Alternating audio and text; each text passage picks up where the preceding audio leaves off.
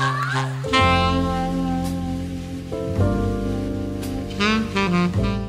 YouTube, pagi ini kami harus packing dan check out, kemudian berpindah ke hotel kami selanjutnya di area Ringku Town. Ringku Town sangat dekat sekali dengan Kansai Airport. Kami sengaja menginap di sana karena besoknya kami harus naik pesawat pagi sekali, sekitar jam 9 pagi. Di Ringku Town ini cukup banyak sekali tempat untuk bisa dieksplor, jadi seharian ini kami memanfaatkan untuk mengeksplor area Ringku Town. Ini adalah hotel yang sama di hari terakhir saya menginap waktu Februari kemarin. Tetapi bedanya Februari kemarin saya tidak sempat mengeksplor area Ringku Town ini. Jadi di Ringku Town ini ada beberapa pusat perbelanjaan. Kita bisa cari makan dan berbelanja di area sini. Hari ini kami makan siang di food court yang ada di salah satu mall di area ini. Kemudian kami berjalan-jalan ke area Ringku Premium Outlet dan juga bermain ke Ringku Park yang di situ kita bisa melihat pantai dan pemandangan laut yang sangat indah sekali. Rasanya seperti nggak di Jepang.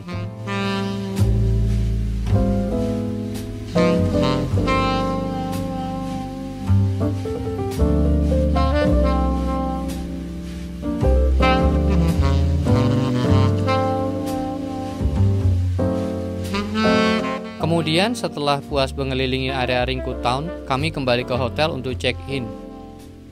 Ada sedikit kendala ketika kita mau memasuki kamar kami. Kunci kami tidak bisa dipakai untuk membuka pintu kamar kami.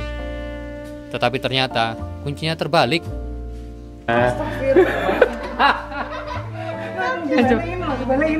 Harus kebalik. Ayo. Cek the room ya, first ya. Di hotel ini kami mengambil kamar triple room. Jadi bednya ada tiga.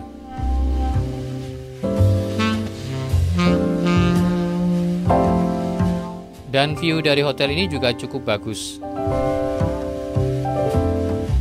Sisa hari ini kami gunakan untuk istirahat dan makan di dalam hotel.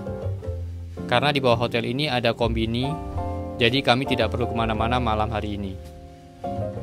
Malam ini kami fokus menyusun ulang barang kami supaya besok di penerbangan semua barang-barang kami bisa rapi dan mudah untuk dibawa.